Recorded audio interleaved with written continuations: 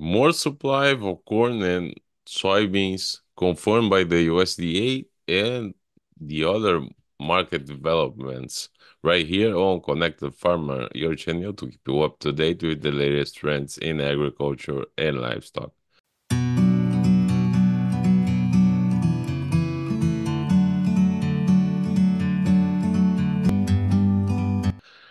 So, Jerry, uh, the report confirmed higher yields for both corn and soybeans with more supply of both crops. So, how how did you see the report? Well, uh, the report definitely gave some very optimistic uh, yields, uh, really across the whole Midwest. Uh, uh, they were really close or uh, record levels here on, particularly in corn. We had a USDA 100, 200, excuse me, 226 bushel projection uh, for Illinois. That's up from two years ago, it's 214. In most cases, we've even been below two, the 210 level most of the time. So very optimistic. Now, we, you and I both saw some pretty good corn out there, but uh, our and our consistency was a lot better than it has been in some years and that. But our average for the our little mini tour there in the central part of the state uh, was up about three and a half, four bushels, uh, jumping uh, as high as they did. Makes it quite interesting because uh, the southern third of the state definitely has uh, some difficulties. The soil quality is just not there to have the best yields, and uh, they must have some pretty optimistic yields down that direction. Uh, Iowa also was a record. I think they were looking at 209 there. Uh, 206 or 7 in Indiana. Some very impressive yield estimates in that. Uh, we'll have to see uh, to some extent uh, uh, with the somewhat limited, I should say, uh, heat situations here uh, across the Midwest this uh, month of August. I think people are not anticipating much of a tip back. I think that's interesting from the standpoint that even some of the years that we saw had some tip back and interestingly enough, uh, I think some of them even got worse as we were uh, you know, going along here in the state. Uh, similar situation on soybeans there, 53.2 nationwide, uh, 66 bushel in Illinois yield. That's, I think, two bushels above the previous record of 64. Uh, Iowa had a, a, strong yield of 61. Uh, I think 62 was Indiana. Uh, and that Eastern Corn Belt definitely is an interesting world. Uh, because of uh, uh, maybe not as much heat as happens out there in the plain states, and and also it, the the one twist of it is is that I, some of Ohio's moisture situations have not been as strong as they've been Eastern Iowa, Illinois, Indiana, Wisconsin, Michigan, stuff like that. So that's going to be interesting scenarios they go through more uh, crop tours going forward uh, from there. The uh, extra bushels the, uh, that uh, the, trade was looking like a 182. We got a 183 on corn. They're looking at 52. Uh, we got 53 on on the soybeans nationwide. You know, pretty optimistic numbers.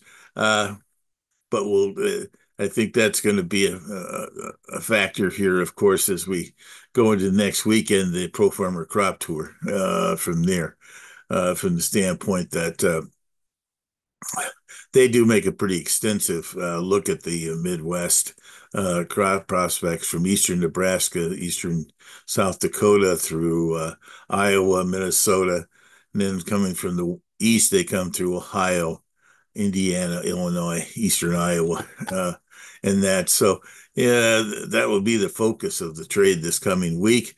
Um, from there, after we had uh, pretty uh, lackluster defensive tones most of this week. Yes, and so on Friday, both crops uh, have uh, the price down. Uh, so as expected by by the yeah yeah, but basically, uh, uh, with the weekend uh, weather being benign, and there was, well, interestingly enough, there's some good rains in parts of uh, the western Corn Belt, uh, eastern uh, eastern Nebraska and western Iowa, and that, and then the rain potential, and then I think there's also just a uh, uh, desired decision to be on the on the sidelines if you're uh, long or uh, and I'm not sure there's a lot of extra selling going on, but there was definitely nobody interested in being uh, ahead of the weekend in the Pro Farmer Crop Tour next year, this coming week. So, excuse me. So I think that was a factor that put things in a defensive a little bit. Uh, from there, uh, from the standpoint of uh, worldwide news, actually, we've had some pretty positive type of uh, uh, com- uh, updates here from various people in the wheat market. We've had some interest. Now, there was kind of a twist here earlier in the week. The, the, weekend before, this time a week ago, there was a uh, ideas that the uh, Egyptians and the we're going to end up selling like over 3.8 million metric tons of their wheat in one fell swoop between now and all the way to April of next year. They asked for bids in that whole scenario. Problem was is that a lot of people were very cautious about uh, putting out bids and put really high bids in there from January through April next year. And so uh, the cost of the the uh, idea that the Egyptians were going to be able to uh, buy all at one time kind of fizzled because of that. Then they decided they were going to do a 1.8 million metric ton one from between now and first of the year, and uh, they're dealing directly with the Russians on this one, supposedly trying to get that worked out. Uh, but there's other people being in. Algeria was in for some wheat, so was uh, uh some others. Actually, uh, Algeria actually bought some durum, which is very unusual. It's the pasta wheat of the world uh, from there. So uh, the there was this demand out there for wheat, and wheat kind of stumbled along sideways while corn and soybeans kind of slipped lower on on the world uh, stage here on prices. it's going to be a uh, I don't know how quickly they'll be reacting to the various numbers from the trade uh, from the uh, tours that they come together on the evening of these tours, and uh, the, in this case, uh, they'll be in uh, uh, Lincoln, Nebraska, uh, after being through South Dakota and parts of north northern north northern Nebraska, northeast Nebraska, I should say, and that, and then they'll be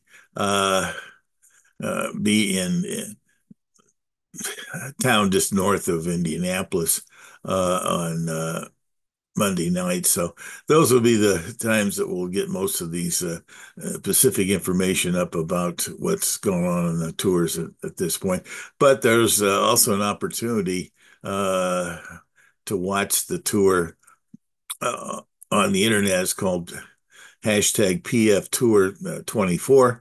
And so if people like to check at that out, they can along the way uh, and that it's unfiltered, just whatever the particular uh, crop scouts are seeing in the fields, and that uh, as they go along from both the eastern and western parts of the Corn Belt.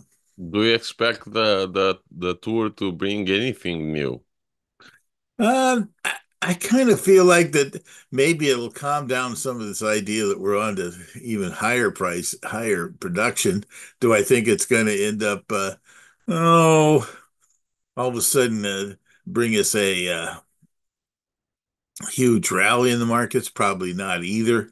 But at the same time, I think it could uh, stabilize some of the ideas that uh, even the 183 bushel U.S. Uh, yield is going to end up being higher later in the season. Uh, and that uh, because I think the one thing that we noticed uh, when we were out there in Central Illinois that the crop maturity of the crop uh, was definitely a lot more uh, uh, widespread between, you know, uh, stuff in uh, heavy dent even to uh, to stuff that just uh, had pollinated and that out there. So it won't be as dramatic as that as when we were there earlier in the month. But at the same time, there's going to be, I think, maybe a little less at this point uh, we'll have to be looking at uh, other things uh, to uh, add to the negatives. I'm not sure the crop size is going to be as big as uh, big and getting bigger uh, is has really been the mindset here over the last couple three weeks. All right, so the next week will be a full market week. what else are you going to watch? Oh, of course, um, the crop tour scenario, and also uh, I think the interesting twist is uh, South America is still back in the background here. Uh, as the issues in that, interestingly enough, uh,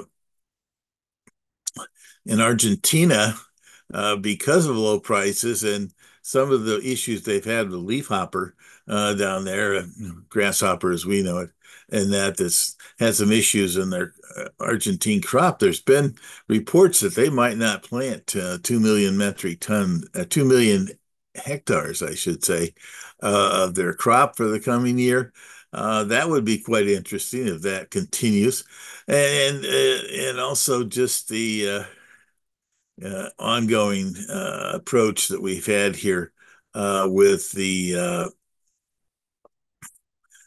on the weather scene is, is uh, La Nina uh, picking up any steam, things of that nature. I think those are going to be some big subject matters here as we go uh, towards the middle latter part of August, uh, and that because uh, South America's impact is is impacted usually pretty significantly by a uh, swing towards the La, La Nina situation. It definitely dinged up Argentina over the last say, two or three years. Uh, and that not so much as last year because we were coming off of that, going towards an El Nino, but uh, from there. So the same thing on Brazil, another feature that South America is a huge competitor uh, in the world suppliers uh, versus the U.S. And so their outputs will be quite important. Uh, and that in the trade, we'll be watching them closely as we go through uh, the rest of August and September. Usually uh, in Brazil starts to start planting uh, some of their uh, beans actually in